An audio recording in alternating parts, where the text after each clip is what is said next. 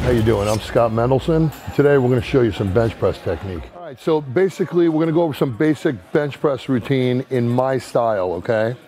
Now, when I bench press, I don't bench from here, I bench from my whole entire body. So I'm going to show you guys a couple different techniques that you can apply.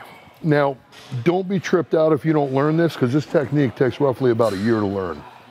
All right, so we're going to lay down right now. And what we're gonna do is we're gonna bring our head completely off the edge of the bench press, okay? And what that'll do is enable us to gauge where our feet are supposed to go. So I bench on the balls of my feet. So I'm gonna kick my feet back and not too far back, just like medium, okay? And the reason why is you don't wanna overarch because if you overarch, you lock yourself out. So what I'm gonna do is I'm gonna get a reverse grip right here and I'm gonna arch my back so I'm bridging basically on my head like that. I'm gonna take my shoulder blades, pinch them both back like this. Now I'm not on my back, I'm on my traps, okay? So when we're pushing, we're pushing with our body. So what we're gonna do is, I'm gonna take my ankles and I'm gonna push my ankles down like this. This is up, this is down. I'm on the balls of my feet. And what that's gonna do is, that's gonna tighten up my entire lower body, okay? Now, my hamstrings, my hips, uh, everything's super tight. Now I'm gonna tighten up my glutes, my butt cheeks, and you'll see my butt go up. Boom, they're now tightened in. Now the entire lower channel of my body is locked in, okay? I've taken my shoulder blades and I pinch them completely together. It's not a lat spread like bodybuilding. It's not muscular. I want you to take the scapulas, the two shoulder blades, and pinch them as close as possible together. Now, once that's done, and I'm in position here, when I go raw, I'm a bigger guy, so I go with my ring finger in position, okay? Now, I'm gonna lift, and when I lift, I don't lift and focus from here, I focus from my hips, okay? So what I'm gonna do is, I'm gonna push my feet down, tighten up my glutes, and when I lift, I'm gonna tighten my tush up. My inner triceps are connected to the side of my body, and up I go into position. My wrists are straight. Look at my wrists. My wrists are not in this position ever, okay? I want them to be in a straight position, right like that, okay? My elbows are in.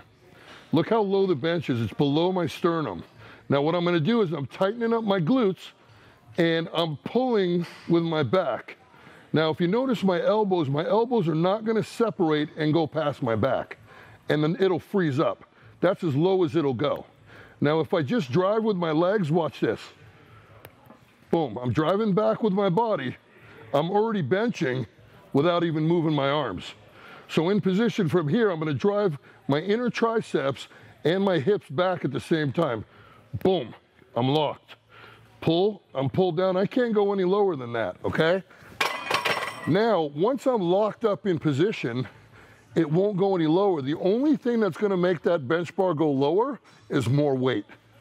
And I don't know if you guys seen before, when you see me bench, you'll notice that the bench locks up. Okay, when I was raw, going raw all the time, nothing less than 600 would touch. Now, in my podcast that I did with Mark, basically I talked about a tidal wave. And a tidal wave, you think about this big wave coming down and smashing down and destroying everything. That's not really the case with a tidal wave. The tidal wave is just the initial contact piece. What you need to worry about is all the ocean behind the wave that comes in and destroys everything. So basically, all the power and force is coming from my whole body. So when I drive back with my body, my inner tricep is connected into my body. So as that body drive goes back, I'm up with my triceps. Okay? And it's sort of a seesaw effect. I come down, I'm tight, but I'm, I'm, I'm in a not as locked position, and then I drive back, and you'll see when I lay down about that.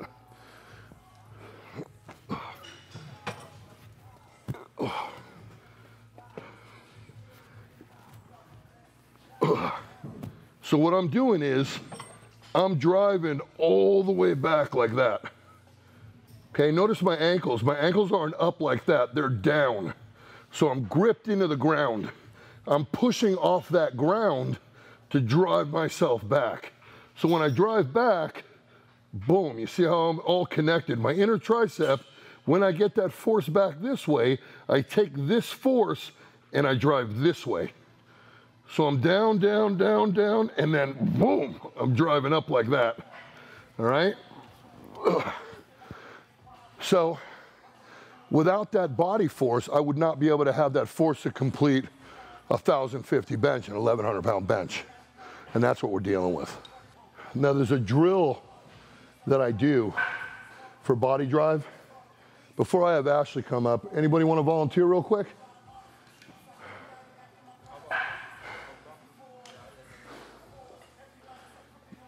All right, do you bench flat foot or on the balls of your feet? Balls of my feet. Good, set up. Did it come off again? Oh, we're good, okay. All right, get your head all the way off the bench. Get a reverse grip. And now arch. Come back, back that way. In other words, bridge on your head, lift your body up.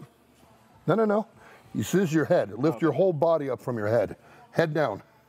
Okay, now pinch your shoulder blades together. All right, now you're in position, okay? Now push your ankles down. Feel how that locks your body in? Now tighten up your butt cheeks. Okay, now get in a bench position. All you guys can gather around right here so you can kind of see what's going on. Okay, first of all, nobody benches like that. I want you to go ring finger like that, okay? Now, what I'm gonna do is I'm gonna put my fists right here. What's your name? Josh. I'm gonna put my fist right on Josh's shoulders, okay?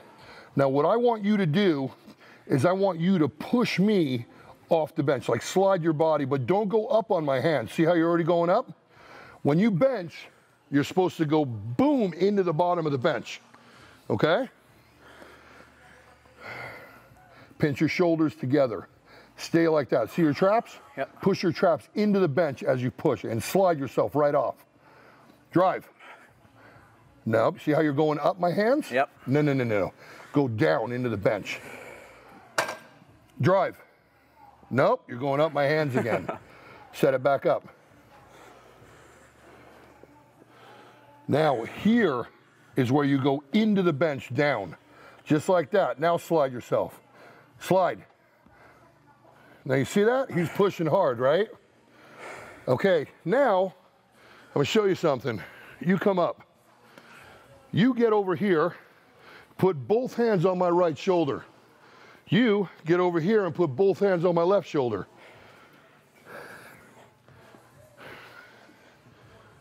Now I'm gonna show you guys what body drive is.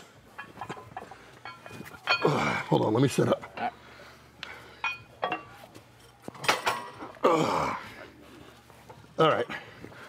Two people over here hold the bar down so I don't lift the bar up. Go ahead. Ready? No, fuck. See that? Yeah. Jesus. See that body drive? Do it again. Nice and easy. Again. Okay, my, my I'm coming up because I'm not chalked down or I'm not sticking on my my my hand, my feet, but I'm driving. Boom, through. You feel that body drive? Now oh, that body drive, when I'm hitting a thousand pounds, I'm boom, driving through like that. I'm coming down, I'm tight, I'm tight, I'm tight. When I hit that bottom, boom, body drive. Sorry if I hurt your hands. No, you're good. But did you feel that pressure? Oh, That's what I'm talking about. So the bench, this is only the first part, the last part of your bench press. You're using everything in your body to do the bench press. How many of you guys do that? right? First of all, in my gym, you can say fuck all day long. Don't ever say try and don't ever say can't because those are escape words. You do. And if you don't do, you learn to do. Everybody get it? All right, so everything's about body drive. When you deadlift, do you just pull with your arms? What do you use? Your hips, your glutes, your hamstrings. When you squat, same thing. When I bench, same thing. It's just a lying down squat. All right? Thanks, guys. Thank you. Ash, come on over here. I want you to do a bench. Yeah. Now, Ashley's going to bench. By the way, guys, Ashley's number two in the world for strong woman. All right, she's America's strongest woman right now. And she's doing the world championships in Alaska in August. So she's a bad motherfucker. All right, set it up.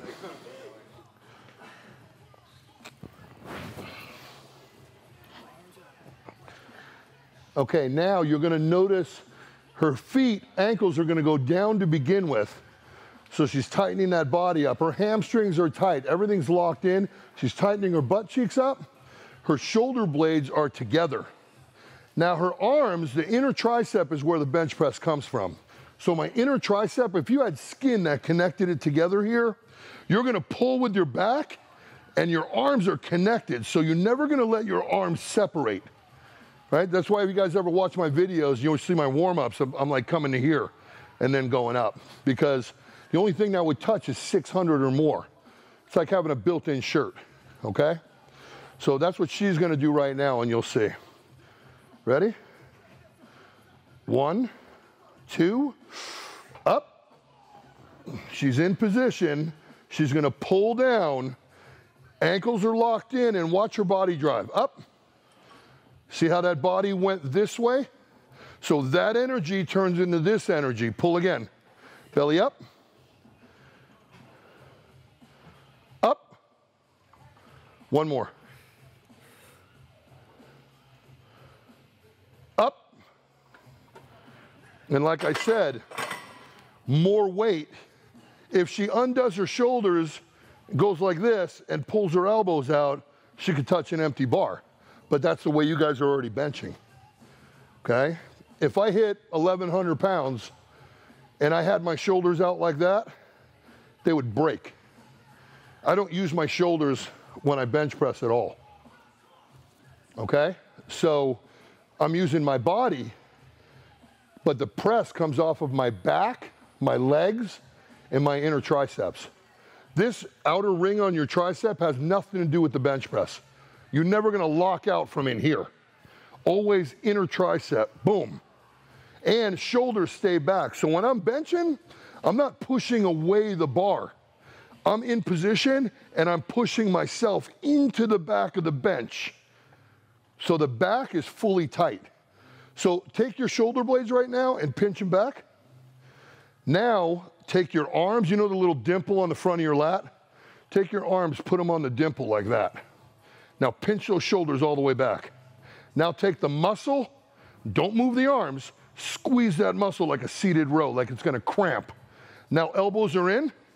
Now without letting the arm escape off of the lat, pull back, pull back, pull back, pull back. You're separated. Your elbows are back here. Never do that. So your elbows are here, and I'm pulling. See how it stopped? Pull, and you'll feel it freeze up. You feel that? That's how you bench press. You big boy, you look like an eagle flying off of a cliff. Your elbows need to be down into your shit like that. Now, pinch your shoulders back. No, no, no. You see your shoulder blades? Pinch the bones together. Okay, now bring your arms forward, staying pinched. Pinch back. Now pull with your arms to the sides and do not let it separate and go back here. Keep it here and pull. Feel how you're freezing up? That's how you do it. Okay? And you'll do it. That's why working off boards is a really good thing because you can warm it up. Do a three board, boom. Do a two board, boom, do a one board, and it'll slowly teach your body to program. Your brain has a programming phase.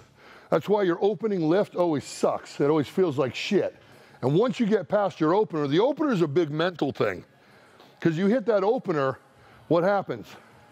Who's competed here? All right, so we got quite a few. What happens if you miss your opener? Mentally, you're, you're in the shithole, right? That's why they say generally, if you miss it, don't go up until unless you're absolutely sure. Repeat.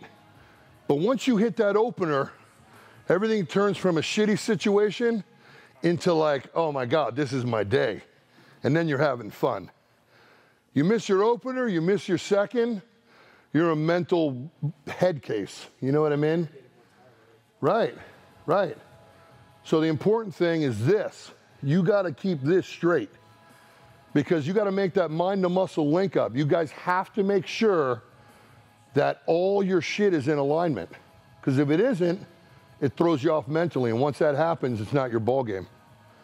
You want to make it your game, not somebody else's game. That's why when you miss that opener and you see that dude next to you that made it, and they're having such a good time, and you're just like, fuck. Ugh. I was doing a thing called Bench America in Chicago, and uh, Fox Sports was doing it. And I opened up with like 825. Nobody had ever hit 900 yet. And uh, I missed it. And there was this dude named Ron Lionheart. He's like a 181 guy squatting 900. He was a beast. My whole team's freaking out. My sister Shauna Mendelson, you guys familiar with her? So she's 800 plus squatter. So she's all freaking out, and Ron walks up to me and he goes, Right now, here at this moment, it's going to decide whether or not you're the man that you think you are. He goes, Everybody can blow it. But to blow it and hold it together and come back, that's a whole other story. So let's see what you got. And he straightened my head out. He walked away, and I was like, Everybody shut the fuck up let's do our job. And I went out there, repeated, nailed it, and then I went for 900 after that. So, you know, it's all about here. Everything's about here. The one with the stronger mind, man, woman, whatever, is the one that's going to win. All right? Any questions? So you missed that because your mind wasn't ready yet? I missed it because I just didn't have my shit together. You know, the crowd, the TV cameras, the this, the that, whatever it is, everybody's got their excuse of why they missed it. But, you know, when he said that to me, it pulled my shit together. And I was like, okay, I know what I need to do now. Yeah. You know, but it's that mental fortitude that, that is what's going to get you through that next thing, you know? Anyway, thanks, guys. Thank you.